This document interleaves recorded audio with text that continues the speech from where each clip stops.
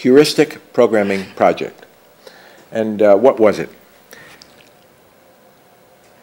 It started out being called the Dendral Project. Uh, Dendral was the project that Joshua Lederberg and I started in 1965 on hypothesis formation in organic chemistry, in the area of organic chemistry based on mass spectrometric and, and other physical data. Uh, we had in, recruited uh, Carl Djerassi in 67 or 66 to collaborate with us, a famous chemist, and, uh, and had good results, very good results. So by 1970, more or less, we, A, had a lot of credibility. B, we had a lot of confidence, like we really knew what we were doing. We had invented a knowledge representation for the chemical knowledge that we thought was broadly applicable. It was uh, it was somewhat based on, uh, on uh, Bob Floyd's work and Floyd Evans' productions and Newell's adaptation of that into rule-based systems. Uh, so we thought we knew what we were doing. And we, we thought we needed to play in some better play, in some other playpens, not better playpens, but other playpens. And since Josh was a professor in the medical school, and medicine seemed to be like a good place to look because it was kind of an inexact science. It wasn't unscientific, but it was, but it was inexact. And if you're, if, if you're like me, you kind of believe that uh, AI is a kind of a, a qualitative science, not a quantitative science. So uh, you're looking for places where heuristics can come into play and uh, inexact knowledge and so on. So we began to look for medical applications and found some. Led to a long string of medical oriented things we did. But at that point, uh, we, we didn't want to be known as, uh, Dendral was a project in chemistry.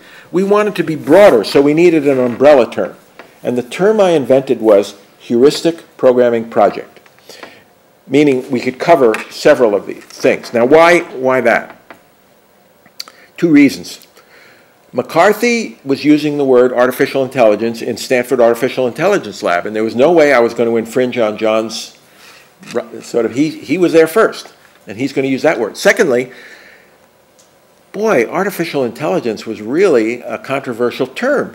It was like touching a nerve in people's body. People were writing books, anti-artificial intelligence books, Joe Weizenbaum's book, and there were several others, and uh, DARPA directors would think that it's crazy to work on artificial intelligence. It's, so it's scaring people. Down. Yeah, so I just said, look, this is ridiculous. I'm just going to call it programming, something.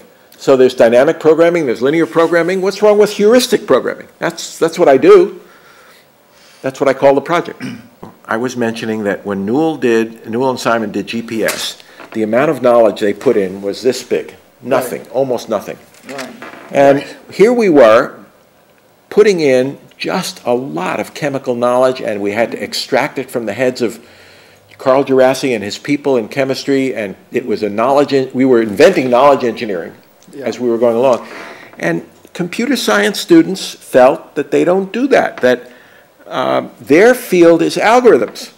And uh, knowledge, epistemology, is somebody else's business. Like it's a chemist's business or it's a doctor's business, but it's not their business. Then it was in the early 70s that we decided to uh, essentially do what what John had done for the artificial intelligence lab, we needed a we needed a machine for our work. Right. Uh, and so we got and I uh, Josh and I uh, put in proposals that hard, uh, actually a lot of hard work to get NIH money, and then we got Licklider to agree that since we were also an ARPA project, we could be the we were the only non-defense contract thing on the ARPANET for a while. We were a medical thing.